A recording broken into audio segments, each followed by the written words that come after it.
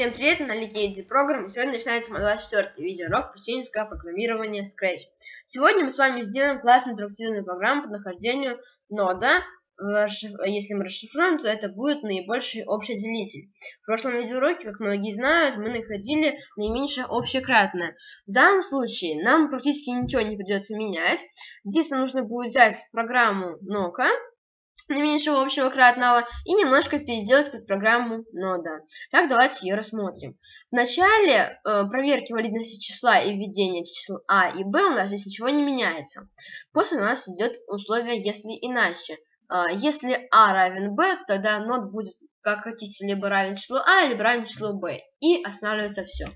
Иначе, если а не срабатывает, то у нас идет условие, если А больше, чем Б, то мы проверяем, а А на число делится на Б. Если да, делится, тогда нодом будет число Б. И все.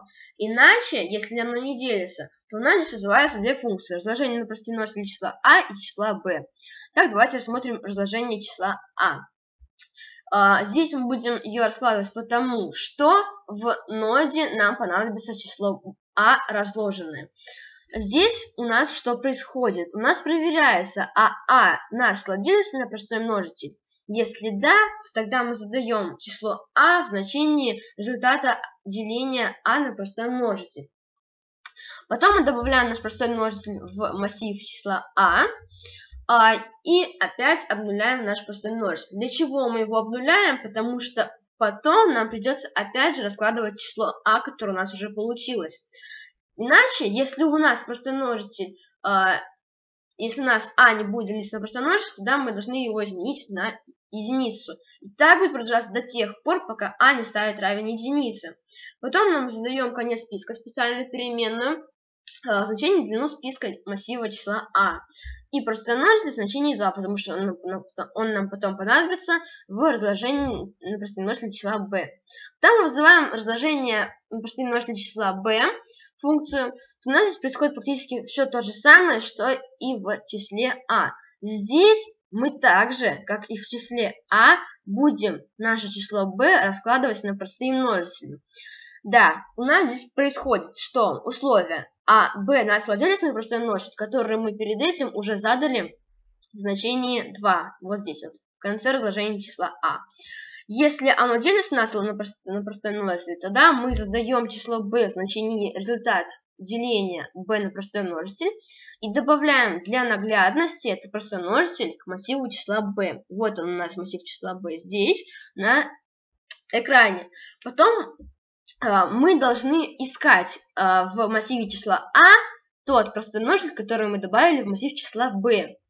Если мы его найдем, то тогда мы задаем этот элемент, который стал равен простому множителю, мы его задаем в значении 1, чтобы потом на него опять же не наткнуться.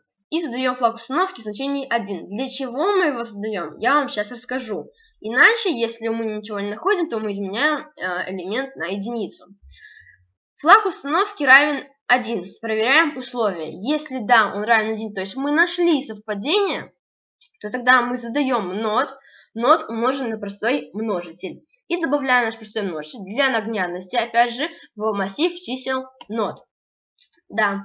А после у нас мы задаем все переменные в обнуление.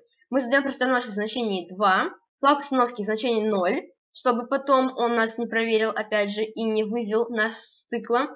И элемент в значении 1. Иначе, если у нас остаток b на простой множитель не будет равен единице, то мы задаем его э, в...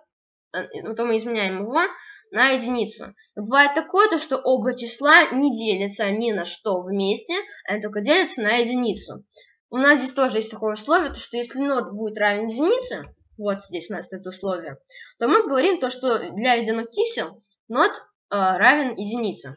А теперь давайте протестируем нашу программу. Давайте сначала введем обычные числа. Мы вводим 55 для наглядности и 33.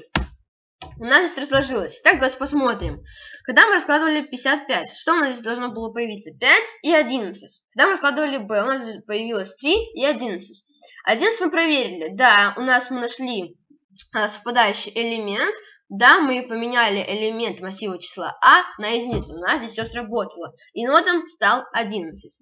Все правильно, потому что 3 не равен 5, и 3 не был равен единице, 11. Э, а теперь давайте протестируем тот случай, когда у нас А начало делиться на Б.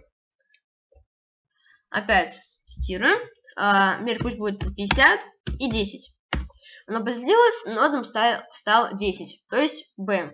Когда а будет, это будет все то же самое. Давайте переведем числа, которые, которые, у которых будет нод а, единица. В данном случае это 563 и 45.